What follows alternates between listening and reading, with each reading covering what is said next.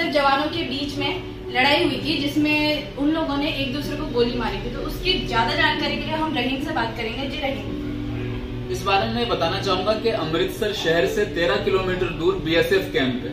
Battalion 144 खासा वहाँ इस समय रह रही थी। और नाश्ते का वो समय था, नाश्ते का वो वक्त था जब उस समय वहाँ पर फायरिंग हुई। सत्यपा एक साउथ इंडिया से एक बीएसएफ नौजवान है जो वहाँ इस समय ड्यूटी कर रहे थे। उन्होंने अपने चार साथियों पर, वो चार साथी जो उनके साथ रहते थे, वो चार साथी जो उनके साथ कभी खाना खाया करते थे, अपने ही साथियों पर उन्होंने सरकारी जो उन्हें गन मिली हुई थी, उन्होंने उस बंदूक से फायरिंग कर दी। इसके पीछे एक दास्तान हो सकती है, ऐसा माना जा रहा है, बताया जा रहा है। क्योंकि जब भी इंसान कोई गुस्सा अपना निकालता है तो गुस्से की जो प्रतिक्रिया होती है, उसके पीछे कहीं ना कहीं कोई बात छुपी होती है कि आखिर वो गुस्सा एकदम तो नहीं पनप गया कि वो आए और उन्होंने फायरिंग शुरू कर दी। उसके पीछे कुछ ना कुछ मुद्दे या कुछ ना कुछ राज ज़रूर रहे होंगे। ऐसा बताया जा रहा है कि सत्यपा से बहुत ज़्यादा ड्यूटी ली जा रही। वो ओवर टाइम कर रहा था, लगातार अपने काम में मतलब अग्रेशन भी था और कुछ साथी उसके ऐसे थे जो उतना काम नहीं मतलब कर पा रहे थे। तो उस वजह से बहुत परेशान चल रहा था। जब उसने अपने साथियों को बताया ऐसा ऐसा कि मैं ज़्यादा काम कर रहा हूँ, ज़्यादा मुझसे ड्यूटी ली जा रही हूँ, मैं बहुत परेशान हूँ डिप्रेशन का शिकार होता जा रहा हूँ तो उन्होंने कहीं ना कहीं उसकी मज़ाक उड़ाई। जो सीनियर अधिकारी थे, उन्होंने उसको नजरअंदाज किया। तो जब इतनी सारी टेंशन सत्यपा के दिमाग में जब चल रही थी तो वो अग्रेशन कहीं ना कहीं वो उस रूप में निकला कि सुबह अचानक नाश्ते के टाइम पे वो अपने घर लेकर आया। तो सुबह का वो वक्त था जब सत्यपा आए और उन्होंने अपने साथियों पर फायरिंग कर दी। बताना चाहूँगा, उस दौरान छह लोगों को गोली लगी है जिसमें से चार जवान मौके पर ही मतलब मर गए, उनकी मौत हो गई। बल्कि ये कहना चाहूँगा, वो शहीद हो गए, चाहे बॉर्डर पर गोली लगे, चाहे कोई आंतरिक कोई कारण रहे, लेकिन सेना में जो भी जवान है वो शहीद कहलाता मेरी नज़र में वो शहीद है। अब मैं बात करूँगा सत्यपा की कि क्या वो शहीद है या नहीं, ये फैसला करेगा कोर्ट। क्योंकि कोर्ट में अभी उनका मामला चल रहा है, कोर्ट ने जाँच के आदेश दे दिए कि इस मामले की तह तक पहुँचा जाए। कि आखिर वो कौन सी परेशानियाँ थी, वो कौन सा अग्रेशन था जिसकी वजह से सत्यपा को ये कदम उठाना पड़ा? अब सत्यपा की मौत पर ये खुलासा अभी सामने आया है कि किसी ने तो मतलब पहले सूत्रों के अनुसार से जानकारी मिल रही थी, वो ये थी कि सत्यपा ने खुद को गोली मार ली। लेकिन अब जो जाँच सामने आई, उसमें बताया जा रहा है कि फर्श में गोली रिटर्न होकर उसको लगी है और इस वजह से उसकी जान गई है। तो ये अभी मामला कहीं ना कहीं सस्पेंस में है। इसके अलावा डिप्रेशन की बात बिल्कुल सही है डिप्रेशन का शिकार था उसने अपने दोस्तों पर गोलियाँ चला दी। लेकिन शायद अगर आज वो ज़िंदा होता तो इस बात पे वो अफसोस ज़रूर कर रहा होता कि जो गुस्से में जो मैंने एकदम से जो फैसला लिया वो फैसला कहीं ना कहीं गलत था। इसकी मैं निंदा आलोचना करूँगा। जी तो जो अभी वजह आई है कि उन्होंने ये कदम किस लिए उठाया तो क्या वो कंफर्म है कि इसी वजह की वजह से उन्होंने इन चारों साथियों को मारा? हाँ बिल्कुल। जो बात सत्यपा की अपने घर पर हो रही थी जो बात उसकी फैमिली से हो रही थी, वो कहीं ना कहीं कनेक्टेड मिल रही, क्योंकि उसकी फैमिली के भी यही बयान आया कि हमारा बेटा परेशान था, वो डिप्रेशन में था, ऐसी मैसेजेस ऐसे चैट्स सामने आए हैं। उसके अलावा जो उसके निजी जो दोस्त थे, जो रूममेट्स थे, वहाँ से भी ये बात कहीं ना कहीं सूत्रों के हवाले से मैं आपको बताना चाहूँगा, ये बात बाहर आई है कि वो डिप्रेशन का शिकार था और वजह यही थी कि उससे ज़्यादा ड्यूटी ली जा रही थी। इसके अलावा और कोई वजह नहीं। जी तो रहीम ने हमको बताया कि बी एस एफ़ जवानों ने आखिर क्यों ये किया और क्या रीजन रहा है? बाकी वक्त भी बताएगा कि आखिर क्या कारण रहा कि बी एस एफ़ जवान को ये करना पड़ा।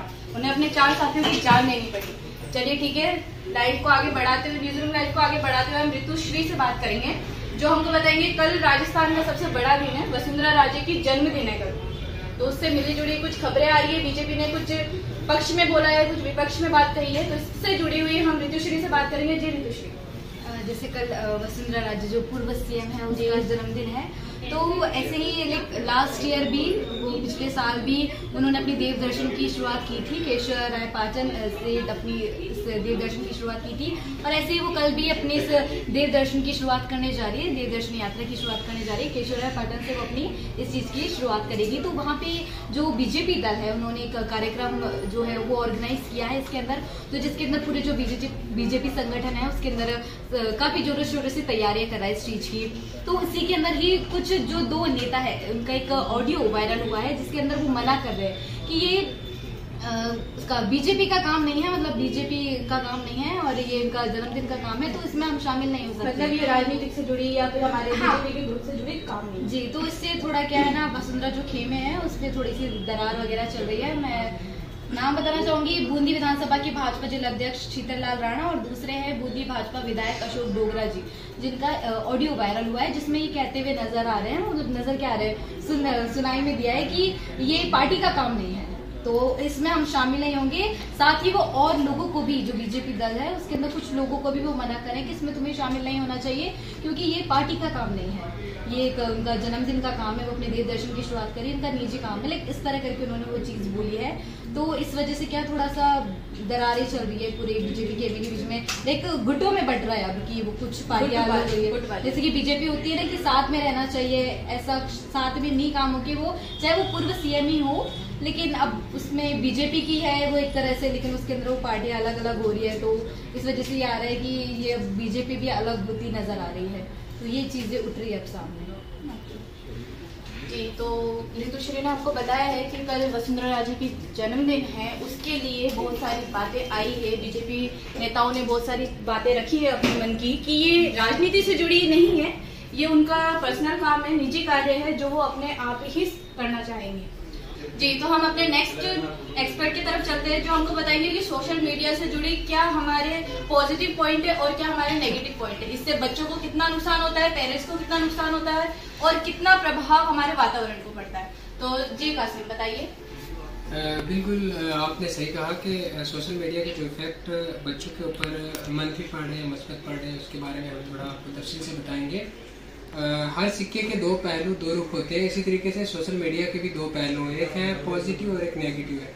अब डिपेंड करता है इंसान के ऊपर के वो उसको किस तरीके से जो है इस्तेमाल करे। अगर हम थोड़ा सा पीछे जाएँगे, जब सोशल मीडिया नहीं था तो तब लोग क्या करते थे कि जमा होकर एक जगह बैठते थे दोस्त दोस्त को मिलते थे, अपनी फैमिली के साथ वक्त गुजारने का जो है वक्त मिलता था। कहीं किसी पीपल की छाँव में, कहीं पेड़ की छाँव में बैठकर सब लोग जो है, बातें करते थे। लेकिन आज सोशल मीडिया की वजह से एक दूसरे को जो है, वो दोस्त, वो रिश्तेदार, वो माँ बाप और वो जो उनके बेटे हैं, आज वो एक दूसरे से दूर है। उसका कारण ये है कि सोशल मीडिया, आज हम अपने अपने मोबाइल लेकर जो है अलग अलग बैठ जाते हैं अपने माँ बाप को टाइम नहीं दे पाते अपने दोस्तों को टाइम नहीं दे पाते। तो पहला तो ये, इसका बिल्कुल ही जो मनफी इफ़ेक्ट पड़ा। अब अगर हम इसको एजुकेशन से रिलेट करें तो एजुकेशन में इसका बहुत बड़ा रोल है सोशल मीडिया का। आज अगर सोशल मीडिया के ज़रिए से जो है गूगल के ऊपर आपको सब चीज़ें अवेलेबल होंगी, आपको लाइब्रेरी जाने की ज़रूरत नहीं है आपको बुक्स खरीदने की ज़रूरत नहीं है आपको आर्टिकल सब चीज़ें जो है, आपको पूरी तारीख जो है सोशल के ऊपर गूगल के ऊपर जो है बहुत सारी वेबसाइटें आपको सब मिल जाएँगे जो आप आराम से जो है पीडीएफ डाउनलोड करके भी जो है पढ़ सकते हैं। लेकिन यहाँ पर भी एक बहुत बड़ा मसला मसला यह है कि इसको गलत अगर इस्तेमाल किया जाएगा तो इंसान जो है बहुत ही मतलब नुकसान इसका जो है पाएगा वो जिसको गलत इस्तेमाल करेगा।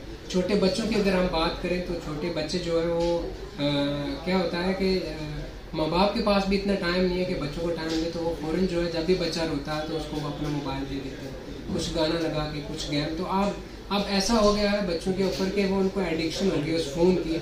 जब भी वो बच्चे रोते हैं तो माँ बाप जो है उनको अपना फ़ोन दे देते हैं जिस वजह से वो जो है ज़्यादा डिप्रेशन, ज़्यादा एडिक्शन की बीमारी का शिकार होते चले जा रहे हैं। इसका इफ़ेक्ट बहुत बुरा पड़ेगा क्योंकि एजुकेशन से भी दूर होते जा रहे हैं ऐसे बच्चे। तो मेरा ये मानना है कि पहली बात कि सोशल मीडिया को पॉजिटिव वे में इस्तेमाल किया जाए और बच्चों से जो गलत चीज़ें आजकल सोशल मीडिया के ऊपर, जैसे गेम्स वगैरह हैं, गलत वीडियो है, वो ना देखें। ज़्यादा से ज़्यादा वो चीज़ें देखें जो आपको आने वाले वक्त में काम आए। अपनी एजुकेशन के रिलेटेड ही चीज़ें जो है सर्च की जाए, उनको देखा जाए तो शायद जो है माशरा भी अच्छा बन सकता है और आने वाली सोसाइटी और अपना देश भी अच्छा बन सकता है। दूसरी बात यह है कि अगर ऐसे बच्चे कहीं हमारे माशरे के अंदर हैं तो उनको सही रास्ता दिखाना भी हमारा फ़र्ज़ है। उन नौजवान नस्ल का फ़र्ज़ है जो पढ़े लिखे हैं, जो जानते हैं कि सोशल मीडिया के नुकसान क्या हैं और इसके फ़ायदे क्या हैं तो ऐसे लोगों को जो है उनको रास्ता दिखाना चाहिए और एक अच्छा पैगाम जो है देना चाहिए तो हमको कासिम ने बताया सोशल मीडिया का क्या इफ़ेक्ट पड़ा है यहाँ पे लोगों पर। तो हम नेक्स्ट एक्सपर्ट के पास जाएँगे जावेद जी के पास जो हमको आज के विधानसभा बजट सत्र के बारे में बताएँगे। उसमें क्या मुद्दा चला आज क्या मुद्दे को लेके उसमें बहस हुई है। जी जावेद जी बताइए। जी बिल्कुल मैं आपको बताना चाहूँगा कि राजस्थान विधानसभा में अभी बजट सत्र चल रहा है और उसका शून्यकाल चल रहा है। जैसा कि बीजेपी और कांग्रेस में बीजेपी हमेशा कोई ना कोई एक मुद्दा ढूंढती है। आज दो बड़े मुद्दे थे जिन पर चर्चा हुई एक मुद्दा तो ऐसा था जिसमें बीजेपी के नुमाइंदों ने वहाँ से वॉकआउट कर दिया। मैं दोनों आपको तफसील से बताना चाहूँगा एक एक करके। पहला तो मैं आपको बताना चाहूँगा कि जो है बीजेपी के नेता प्रतिपक्ष गुलाब चंद कटारिया ने, सदन से वॉकआउट किया। ये कहते हुए उन्होंने शाले मोहम्मद है, अल्पसंख्यक मामला मंत्री पर आरोप लगाया कि उन्होंने धर्मांतरण को बढ़ावा दिया है। अब उन्होंने कैसे कहा कि धर्मांतरण को बढ़ावा दिया है? उन्होंने शाले मोहम्मद पर आरोप लगाई शाले मोहम्मद जो अल्पसंख्यक सर्टिफिकेट जो होते हैं, उनको बनवाने के लिए उन्होंने कलेक्टर को चिट्ठी लिखी और कहा कि ओबीसी सर्टिफिकेट के आधार पर अल्पसंख्यक सर्टिफिकेट बनाया जाए। तो गुलाब चंद कटारी ने कहा कि इस तरह की बंदिशें सर्टिफिकेट बनाने में नहीं करनी चाहिए। गलत है। इससे कहीं ना कहीं जो पिछड़ी जातियाँ हैं, जैसे कि मेहरात काठार और चीता जातियाँ, इन तीन जातियों का ज़िक्र किया कि ये जातियाँ फ़ायदा उठाने के लिए कहीं ना कहीं अपना धर्म चेंज करके ओबीसी सर्टिफिकेट बनाती है और उसके बाद अल्पसंख्यक सर्टिफिकेट बनाएगी। तो ऐसा उन्होंने एक तर्क दिया है, जो कि बिल्कुल ही लॉजिकली सही नहीं था। और उस पर गुलाब चंद कटारिया की इस बात पर अल्पसंख्यक मामला शाला मोहम्मद, शाले मोहम्मद ने कहा कि ये बिल्कुल सरासर गलत है। उन्होंने कहा कि मैंने कलेक्टर को चिट्ठी एक नियम अनुसार सर्टिफिकेट बनाने को कहा था। नेता प्रतिपक्ष मुझ पर गलत आरोप लगा रहे लेकिन उनकी बात से वो सहमत नहीं हुए और उन्होंने सदन से वॉकआउट कर दिया। पहला मुद्दा तो ये था, जिसमें सदन से वॉकआउट हो गया। और एक मुद्दा जो है, प्रसादी लाल मीणा, जो हमारे नवीन, जो नए स्वास्थ्य मंत्री बने हैं, राजस्थान के, उन्होंने एक मुद्दा उठाया। डॉक्टर्स की डेपुटेशन खत्म करने को ये मामला था। उन्होंने ये आरोप लगाया कि जो राजस्थान के जो बाहरी एरिए हैं जहाँ पर सुविधाएँ जहाँ पर डॉक्टर्स की ज़्यादा आवश्यकता है और जहाँ पर डॉक्टर्स नहीं है वहाँ क्या होता है कि डॉक्टर्स की ड्यूटी तो लग जाती है लेकिन डॉक्टर्स वहाँ ज्वाइन नहीं करते। डॉक्टर ऐसी जगह ज्वाइन करते हैं जहाँ मान लीजिए चालीस डॉक्टर्स की आवश्यकता है वहाँ पर सत्तर डॉक्टर ज्वाइन करें। जैसे मान लो जयपुर में एस के अंदर मान लो। और जैसे मान लो डॉक्टर की आवश्यकता है सीकर में तो उन्होंने सीकर में ज्वाइन नहीं किया। तो ये एक बड़ा मुद्दा है। इस मुद्दे पर जो है बीजेपी ने भी उनकी वाहवाही की और कहा कि अगर आप ये चीज़ कर लेते हो तो इसके लिए मैं आपको बधाई देता हूँ। ये बहुत अच्छा काम है क्योंकि कुछ डॉक्टर्स मानते ही नहीं मतलब उनका अगर ज्वाइनिंग कोई आउट एरिया में आ गई तो वो वहाँ ज्वाइन नहीं करते हैं। उसके बजाय वो ऐसी जगह पर ज्वाइन करना ज़्यादा पसंद करते हैं जहाँ पर उनको सुविधा मिले प्लस पैसा हो। क्योंकि उन्हें पता है कि जयपुर ऐसी जगह है कि हम सरकारी नौकरी तो हमारी करेंगे उसके साथ प्राइवेट प्रैक्टिस भी कर लेंगे। कहीं ना कहीं प्राइवेट जो है प्रैक्टिस के ज़रिए ज़्यादा पैसा बनाने के लिए डॉक्टर ऐसा करते हैं, इसलिए आउट एरिया में वो अपनी सर्विस नहीं लगवाते हैं। और जयपुर और ये जो बड़े बड़े ज़िले हैं, वहाँ पर अपनी प्रैक्टिस कर, अपना जो लगवाते ताकि उनको प्राइवेट तरीके से उनको पैसा मिल सके। तो प्रसादी लाल मीणा ने ये मुद्दा उठाया और कहा कि ऐसे डॉक्टर्स को बख्शा नहीं जाएगा। ऐसा नहीं होगा कि आप ज्वाइनिंग तो जयपुर में कर रहे हो और आप शेरडी सीकर से ले रहे हो या हनुमानगढ़ से ले रहे हो। ऐसा नहीं चलेगा। इसमें बीजेपी ने भी जो है, सर, प्रसाद लाल मीणा की तारीफ़ की और कहा कि अगर आप ऐसा करवा देते हो तो बहुत अच्छी बात होगी। ये दो बड़े मुद्दे थे जो राजस्थान विधानसभा में आज चले। एक पे वॉकआउट हो गया, जिनमें बीजेपी ने नाराज़गी जताई और कहा कि धर्मांतरण का खेल बंद करो। उस पर शाली मोहम्मद ने कहा कि ये कोई धर्मांतरण नहीं, बीजेपी ज़बरदस्ती इसको मुद्दा बना रही है।